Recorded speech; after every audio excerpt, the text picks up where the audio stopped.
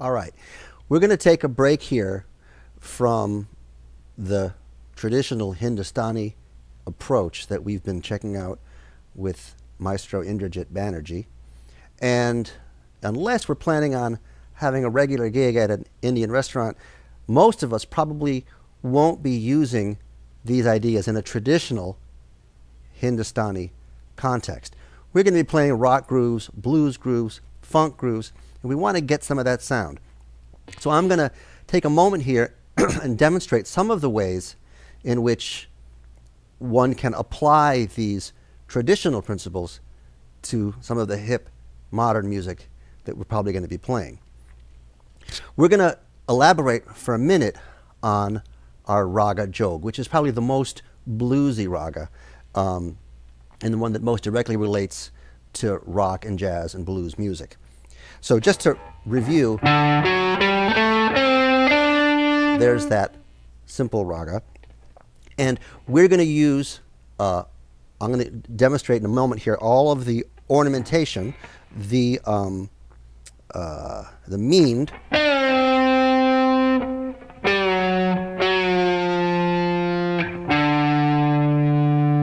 the um, uh, murki,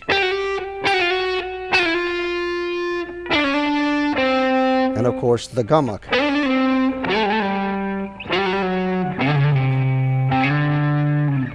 In addition, remember that there are many rhythmic concepts that are going to give us that Indian sound. I- In taking a rag, practice different melodic sequences. So you might take, and you might go.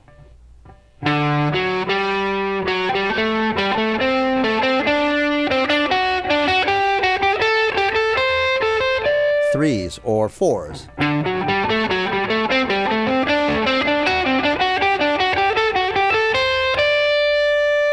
and create different melodic and rhythmic patterns that way. One of the keys here is focusing on the one. So I'm going to try to, in my little example that's going to come up in a minute, end some of these ideas on the one.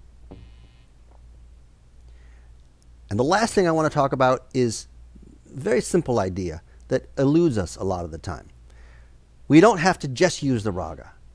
Uh, I worked for many years and continue to do so with the great Zakir Hussain. And he was the first great master who said, you know, man, just play.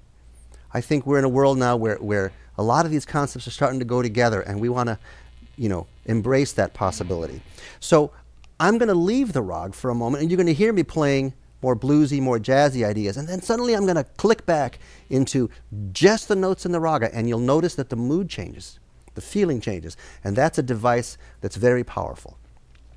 So we're going to get a little example going. I'm going to use the ornamentation, melodic patterns, rhythmic ideas, leave the rag, and then come back to the rag.